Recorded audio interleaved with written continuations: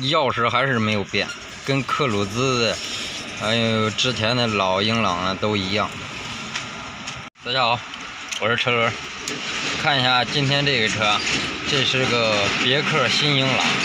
看这个英朗呢，它是之前咱们都知道，这个新款的英朗推出的是三缸的，三缸一旦推出以后，抖啊！看一下啊，它这是个低配的机械钥匙，然后现在这车目前是跑了一千多公里缸。这是个新英朗，看一下这车的外观。改款后的英朗显得更好看，前脸更漂亮，把中网和大灯贯穿式，然后前面就跟个小翅膀似的。看一下，这个是二零二零款的。这是一个四缸机，从三缸又换回四缸了。这个四缸坐进去，一点都不带抖的，动静静得很。你就是坐进去，感觉就是如果说你在不知情的情况下，以为它是没着车呢。通用旗下这个别克和这个雪佛兰大面积搭载三缸发动机，别克旗下的英朗，还有凯越，还有这个悦朗，好多车型。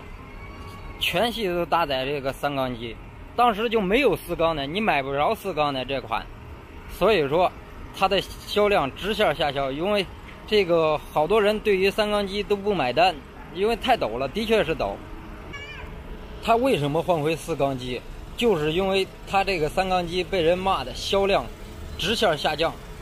一七年的别克英朗，当时卖到四十二点一万辆的销量，超过了轩逸。四十点零五万辆，所以说仅次于朗逸的四十六点一万。当时那可是真真的，它的销量的确是牛逼。到二零一八年呢，它搭载这个三缸机以后，它的每年的就销量就直接下到二十六万了，相比二十七年呢，直接降了一半。所以我告诉你说，它二零二零年不得不以换回四缸机，再不换的话，销量更惨淡。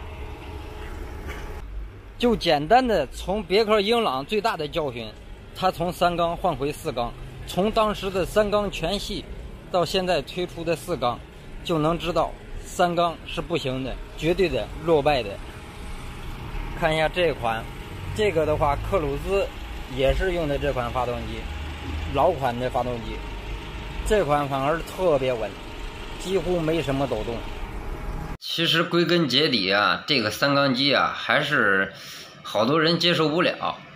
你就从简单的销量上就能看出来，当时的这个英朗的销量，那上升的差一点就是跟这个朗逸相匹比。但是呢，就是出了三缸机以后，然后销量瞬间下滑。它的优惠幅度但是特别大，当时就是因为这个推这个三缸机，优惠幅度大得很。嗯，你想吧，那车一点三 T 的下来的话，八万多块钱，九万块钱也就就能拿下来了。朗逸你下来得十一万左右呢，对不对？所以说，不论配置方面还是说这个动力方面，它推出的这个一点三 T 的发动机这款配置的话，还有这价钱都是相当给力的，性价比挺高的，但是唯独就是不保值。它就是为了降低油耗才推出的这个三缸机，美系车都耗油，谁都知道的。现在三缸机推出完了，好多人不接受，所以选择了别的车型。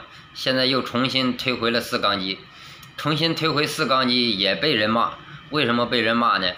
配置跟不上去了，然后价格还高了，而且用的还是老旧的发动机。但是别管它多老多旧。这款发动机 L2B 发动机在通用旗下是一款非常可靠的发动机，没有说那么多毛病，但是它价格上去了，所以说估计还得被人骂，这个销量估计也不好上去，因为你这个十多万让人接受一个1.5自吸发动机，再加上个 6AT 的变速箱，我估计选择朗逸的人。也跟这个对比一下，估计选择朗逸的会多点儿，所以说估计这个销量的话往上涨也不好涨，除非他把优惠幅度还降回以前 1.0T、1.3T 的发动机那个优惠幅度。在好多之前搭配全系三缸机的，比方说这个雪佛兰的克鲁泽，还有这个英朗是最大的案例啊，还有这个福特，还有吉利的，好多当时全系配套的这个三缸机的，现如今它都推出来这个四缸机，都已经在这个工信部上报了。在当下这个市场，让人接受三缸机还是属于少数的，他们陆续都会上上四缸机。还是表明了三缸机不行。是你的话，你会怎么选？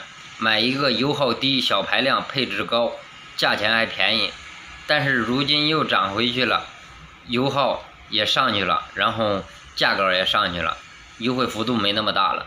如果是你的话，你会怎么选？行，今天就先到这里。喜欢的话点关注，拜拜。